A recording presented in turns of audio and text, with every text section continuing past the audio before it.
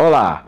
Tomar aquela cervejinha, aquela cachaçinha no domingo de eleição pode não ser uma boa ideia se sua cidade tiver adotado a lei seca. Prevista no artigo 347 do Código Eleitoral, a regra pode dar até um ano de prisão se não for respeitada.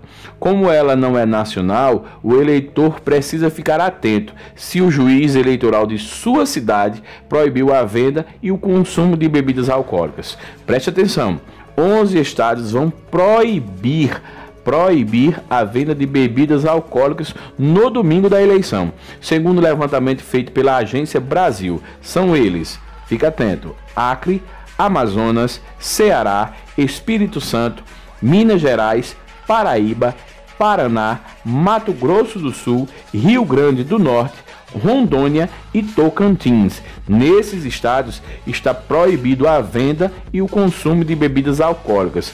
Em alguns, a regra vai valer para o estado inteiro e em outros apenas para capitais e alguns municípios que vão sempre aderem à lei seca. No geral, a proibição começa às 22 horas do sábado antes da eleição até o domingo às 17 horas após encerrar as sessões. Mas quem define as regras é o Tribunal Regional Eleitoral, TRE de cada estado.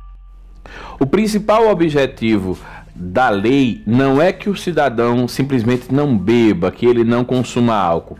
O principal objetivo é que o cidadão vai exercer seu direito de votar consciente, sabendo o que está fazendo.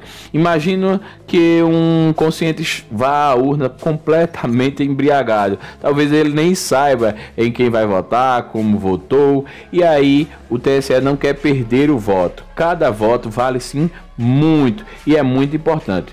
Nós vamos postar no nosso blog blogsocial.blogspot.com os estados e cada forma que o estado aderiu de como vai executar a lei seca. No mais, fica aquela nossa dica: vote consciente. Se beber, não dirija, isso não muda na lei. Seja consciente, seja um cidadão responsável. Claro, importante demais votar. Bloco Social, até o próximo vídeo. Tchau, tchau.